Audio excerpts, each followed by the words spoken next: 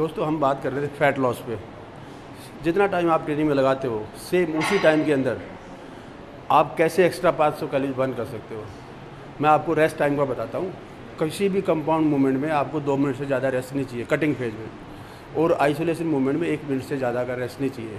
अगर आप इस पैटर्न से चलेंगे, इस रेस्ट टाइम के साथ तो आप देख रहे हैं पच्चीस तीस मिनट आप अपने टाइम में से बचा पाएँगे। इस बचे हुए टाइम में या तो वेट ट्रेनिंग का वॉल्यूम बढ़ा दें आप वहाँ कैलरीज बर्न कर हो जाएँगी आप एक्स्ट्रा या फिर अपना कार्डियो सेशन बढ़ा दें इंटेंसिटी बढ़ा दें, या फिर दोनों को थोड़ा थोड़ा वेट ट्रेनिंग का वॉल्यूम बढ़ाएँ, थोड़ा कार्डियो बढ़ाएँ। इंटेंसिटी आपकी बढ़ जाएगी रेस्ट टाइम कट करने से, उसी से आपकी 400 500 कैलोरीज एक्स्ट्रा बर्न हो जाएँगी।